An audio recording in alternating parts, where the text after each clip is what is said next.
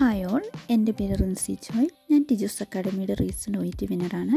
ഞാൻ Tiju's academy choose ചെയ്തത് യൂട്യൂബിൽ ടിജു സാറിന്റെ ഗ്രാമർ ചലഞ്ച് കണ്ടിട്ടാണ്. ടിജുസ് അക്കാഡമിയെ കുറിച്ച് പറയുവാണെങ്കിൽ one of the best academy എന്ന് ഞാൻ പറയും. ഇവിടെ നമുക്ക് അൺലിമിറ്റഡ് ടൈം പീരീഡ് ആണ്.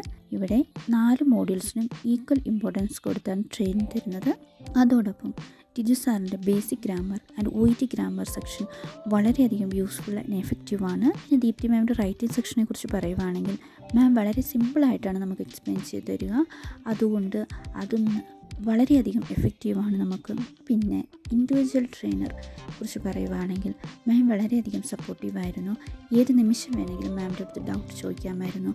മാം എപ്പോഴും നമുക്ക് ക്ലിയർ ചെയ്ത് തരാൻ റെഡിയായിരുന്നു once again thankful to all teachers, Academy faculties, especially Teacher Deepthi ma'am and my individual trainer. Thank you.